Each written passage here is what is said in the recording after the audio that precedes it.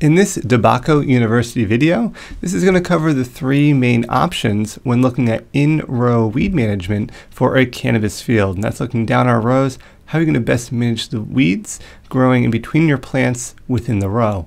Stay tuned here to find out the three methods, as well as the advantages and disadvantages of each.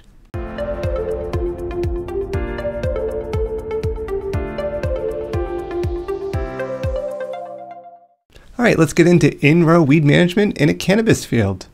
So first off, of our three options, uh, plastic mulch is the first one. The advantages here is that it's very easy to get, it's effective for most weeds, and there are color options for different situations. Some of those color options may offer some advantages.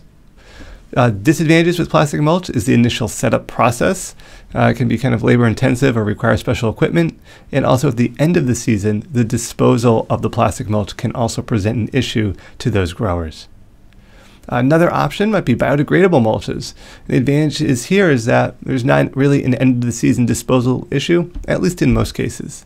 Uh, also, biodegradable mulches can work on nut sedge. So if you have a nut sedge problem or that weed really be presenting an issue on your particular land, biodegradable mulches can offer a advantage of being able to prevent that from growing. However, the disadvantages is that selecting the one that is the best for your growing conditions because there are more options can be a challenge.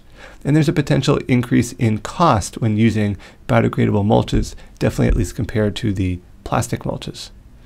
And then lastly, there's just the hand-old uh, manual methods, where the advantage ensures someone will be walking the fields and doing plant inspections. However, the disadvantages is the simple the time and labor that it takes to manually go through and manage the weeds. Now, looking at these three different methods, uh, if you want to investigate any of them further, look at other videos here on DeBacco University.